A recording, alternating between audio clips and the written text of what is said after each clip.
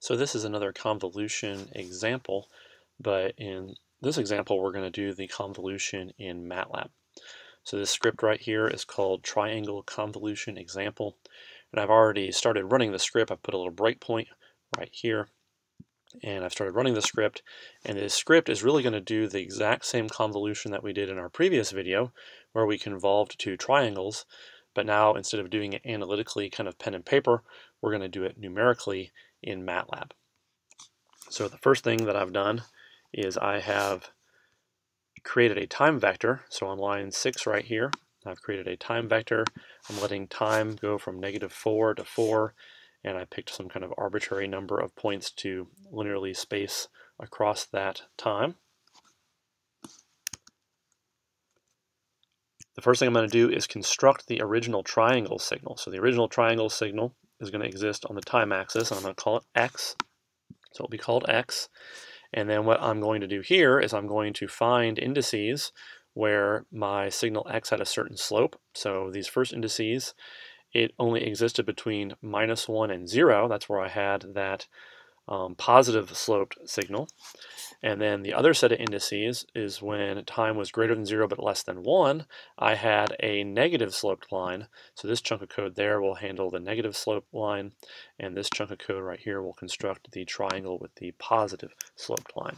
So if we step through that, we now have a signal x that is length 16,384, and it's 0 almost everywhere except for the indices that we found where we need to populate either a positively sloped line that intercepts at y equals 1 or a negatively sloped line where it also intercepts at y equals 1. So as a first little check, let's just go ahead and make sure that we created this signal correctly. Let's plot it.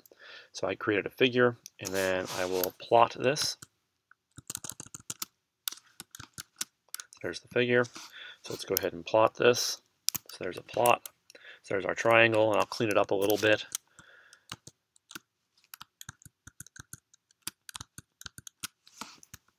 Set the limits, make the axis bold, label it, and give it a title.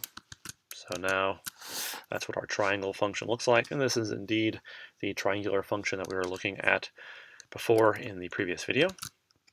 And now what I'm going to do is I'm going to go ahead and do the convolution. So MATLAB has a built-in function called conv, so if I convolve x with itself, I will get the convolution of x with itself.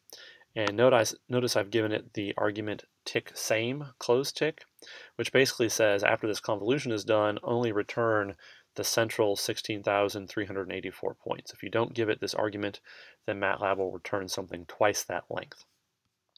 So this does the convolution for me, and the only thing that you have to be careful is in MATLAB when you're trying to convolve continuous time signals, MATLAB can't store continuous time signals, no computer can. What we really have done here is created samples of a continuous time signal. So when I do this convolution right here, MATLAB is doing this as a discrete time convolution. It thinks that it's a discrete time signal.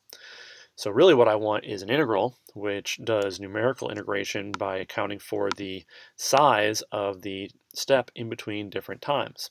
So if I take the difference of t and then compute the median, this essentially gives me the time spacing of that vector. So really what I'm doing is I'm multiplying by delta t, which in this case, for the time vector I've chosen, and the number of points I've chosen turns out to be about 4.9 e to the negative 4. So if you're going to try to do continuous time convolution and get results that make sense, make sure you multiply by dt after calling convolution operation here to make sure that your results make sense. So I now have z, which is also length 16,384, and we can plot this, start a new figure and plot it. And we end up with a function that looks like this. So this is what MATLAB says the convolution of two triangles is equal to. At the bottom part of this script now what I'm doing is I'm just evaluating the analytic results that we had from our previous example. So previously we figured out that between time greater than or equal to negative 2 but less than negative 1 that our convolution was actually equal to 1 6 times the quantity of t plus 2 cubed. So what I'm doing right now is I'm going to evaluate analytically our results from before and plot those in MATLAB on top of this to make sure the answer from MATLAB matches the answer that we computed. So let's keep stepping through. So if I step, step, step, so this should plot our convolution between time minus 2 and negative 1. And I had the wrong figure. Let me reevaluate this again. So there it is. So that's the function that we got analytically, and it's right on top of the MATLAB code like it should be.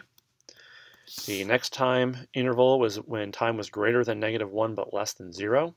For that period of time, we have this analytic result. It's kind of ugly, but it was 1 third negative t cubed plus 3t plus 2, and then there's this minus 1 sixth term that we had to tack on from the previous result. So where this came from is not clear at all from this video, but if you watch the previous video, where that equation comes from should be very clear. And we plot that, and it's right on top of the MATLAB results. And then this part right here, this next period of time, when time is between 0 and 1, I plot that in cyan. Let's go ahead and get that copied, paste it right here, and it looks like that right on top. And then finally, the last period of time when time was greater than 1 but less than 2. We step through and evaluate that. And actually, we can just go ahead and step through the rest of this code and let it format the axes and everything as well. And it didn't do it because I had the wrong figure selected. There we go. There's that fourth port I did in magenta.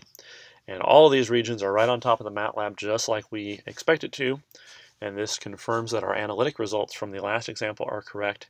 And also that we've done the continuous time convolution in MATLAB correctly. Now, continuous time convolution doesn't really make sense. We can't really do that in MATLAB. We can do it numerically.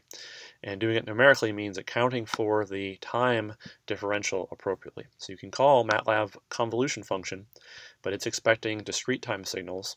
If you want it to kind of spit out an answer that's right for a continuous time signal, make sure you account for this by multiplying by dt. And that is the end of our example.